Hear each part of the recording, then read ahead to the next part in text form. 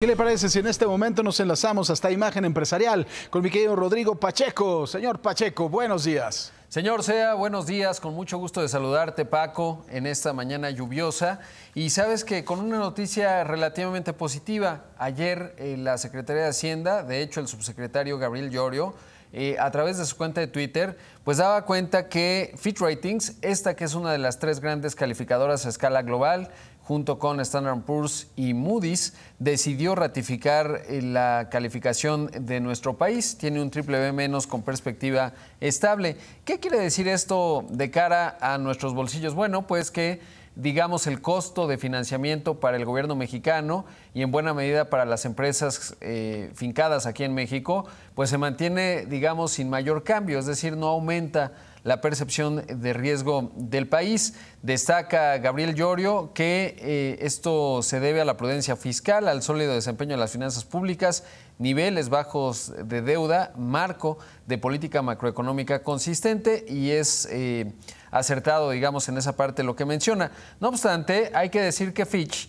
también eh, dice que ve un patrón de intervenciones del gobierno y que, bueno, pues esto por supuesto se convierte en un factor que desincentiva la inversión en nuestro país. Este es otro de los temas fundamentales. Además, advierte que en la elección del próximo 6 de junio puede cambiar el balance de poder y a partir de ahí sería más difícil que haya modificaciones constitucionales. Así que un análisis el de Fitch, en donde sí eh, habla bien, digamos, de la parte macroeconómica de México, cierta estabilidad, la gestión de la deuda, etcétera, pero también advierte que pues la intervención del gobierno a través de muchas reformas, obviamente en el tema energético, pues no ayuda mucho a la inversión, mi querido Paco.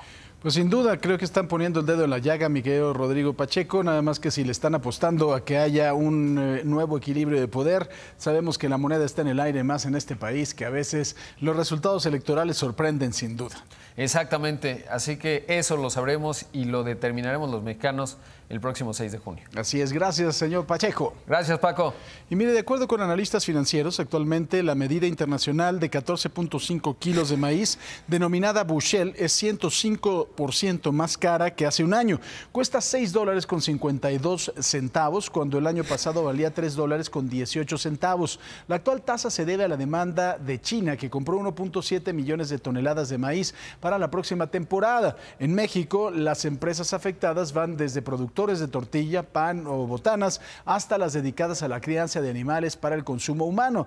Hay que decir una cosa, ¿qué es lo que pasa? De acuerdo con datos de la Alianza Nacional de Pequeños Comerciantes, el precio de la tortilla en México pasó de 17 a 19 kilos en abril, eh, bueno, de abril hasta mayo, lo que representa un crecimiento del 10%. Y en lo que va del año, el precio ha escalado un 20%. Al cierre del 2020, el kilo costaba 15,80. La Alianza de Comerciantes afirmó que el alza del precio de la tortilla y otros alimentos afecta a la economía familiar principalmente en los estados de Nuevo León, Guanajuato, Tlaxcala, Estado de México y Tabasco. A ver, ¿qué es lo que pasa con el maíz?